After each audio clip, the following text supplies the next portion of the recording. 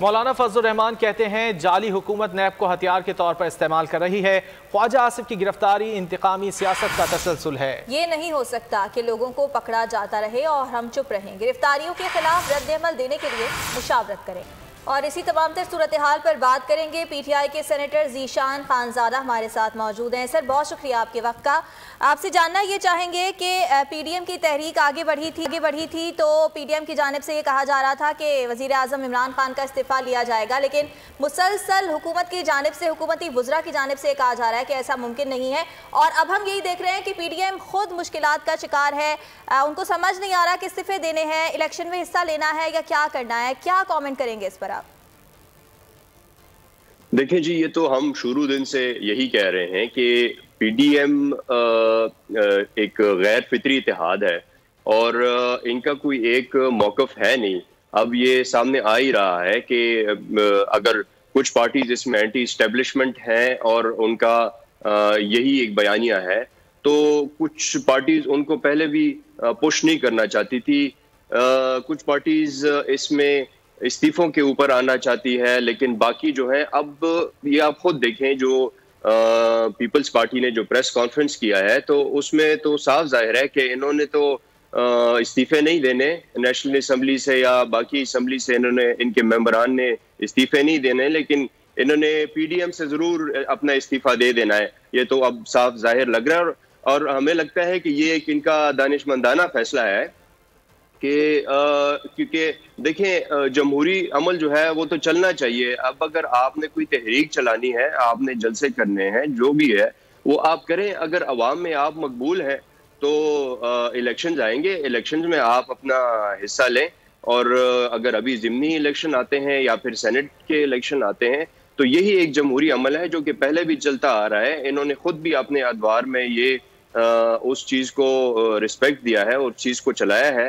तो अब इस टाइम पे क्यों ये ऐसा नया आ, आ, अमल चलाना चाह रहे हैं जो कि गैर जमहूरी हो और जिसमें इस मुल्क का नुकसान हो उसमें सिर्फ़ ये एक ही फ़ायदा होगा कि इनके जो कुछ लीडरान हैं जिनके ऊपर केसेस बने हुए हैं उनके जाती मफादात की वजह से ये पूरी तहरीक चल रही है। तो अब तो अवाम को ये सब रहमान साहब कहते हैं कि हुकूमत जो है वो नैब को इस्तेमाल कर रही है हथियार के तौर पर अपोजिशन के खिलाफ। आप क्या समझते हैं कि इल्ज़ाम आप पर क्यों बार बार लगाया जाता है? देखें सबसे बड़ी बात यह है कि नैब का कानून जो है, वो पीटीआई ने नहीं बनाया। वो एक और इससे पहले हुकूमतों ने बनाया है। इनकी हुकूमतें भी आई हैं। इनमें, इनको अगर लगता था कि ये कानून कोई सख्त है या इसमें कोई मसला है तो इनको तरामीम लानी चाहिए थी। और अभी भी उससे बड़ी बात यह है कि पीटीआई ने भी इनको साल पहले जब इनवाइट किया कि आप आए जी, इन इनमें अगर तरामीम करते हैं, और पीटीआई का मकसद ये था कि इसमें जो बिज़नेस से रिलेटेड जो शिके हैं या जो कारोबारी लोगों के हवाले से शिके हैं, उनमें से कोई तरामीम आए जो ब्यूरोक्रेसी के हवाले से हैं, उनमें हम तरामीम करें ताकि इस मुल्क का पहिया तेज़ी से चल सके और भी। तो लेकिन जब इनको इनवाइट किया कि इसको थोड़ा इम्प्रूव किया जाए इस कानून को तो इन्होंने अपने जाती जो इनके केसेस थे उनके बारे में इन्होंने बात करना शुरू की इन्होंने कहा कि जी, हमारे उन्नीस सौ निन्यानवे से पहले जो हमारे केसेस थे, उनको आप माफ़ माफ़ कराएँ हम्म। और इनके अपने जाती मकासद के लिए जो भी ज़रूरत थी। इस बात पर एतराज़ उठा रहे हैं कि ये जो टाइमिंग है ये हुकूमत इस्तेमाल कर रही है क्योंकि उनका ये कहना है कि उनकी तहरीक आगे बढ़ रही है तो इस तरह की गिरफ्तारियाँ अमल में आ रही हैं। ख्वाजा आसिफ को गिरफ़्तार कर लिया गया फजल रहमान को बार बार नोटिस जारी किए जा रहे हैं। तो वो टाइमिंग पर एतराज़ उठा रहे हैं कि जब उनकी तहरीक चल रही है तो इस वक्त नैब केसेस में इतना ते, ते, इतनी तेज़ी क्यों आ रही है? देखिए मकसद तो इनकी तहरीक का यही है ना ये तो तहरीक इस मुल्क के अवाम के लिए नहीं चला रहे ये अपने जाती मफादात के लिए इनके जाती मफादात यही है कि जी जो हमारे केसेस चल रहे हैं उनमें कोई अरेस्ट ना हो उनमें से कोई जेल ना जाए और उनके उन केसेस के ऊपर कोई अमल ना हो आ, तो यही तो इनका मकसद है जो कि नहीं होना चाहिए क्योंकि अगर ये जो भी कहते हैं पीटीआई के बारे में और खान साहब के बारे में कि वो नैब को इस्तेमाल कर रहे हैं हाँ। खान साहब ने सिर्फ़ नैब ये किया कि उन्होंने नैब को फाल कर दिया है।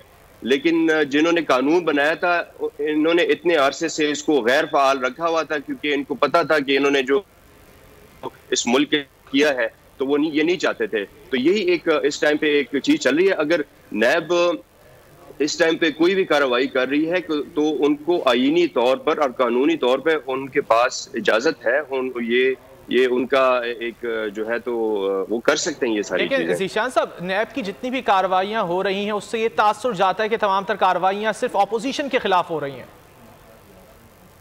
तो ये तो यही कहते हैं ना ऐसी तो कोई बात नहीं है। अगर आप देखें तो पीटीआई के लीडरान के ऊपर भी पहले केसेस बने हैं। हम तो ये नहीं कह रहे हैं कि जी आ, आ, आ, इनके अगर ऊपर कोई केसेस बने हैं और नैब ने कहीं अपने इख्तियार का इस्तेमाल किया जो उनको जिनकी जो उनके पास इजाज़त है उससे ज़्यादा उन्होंने अख्तियार इस्तेमाल किया।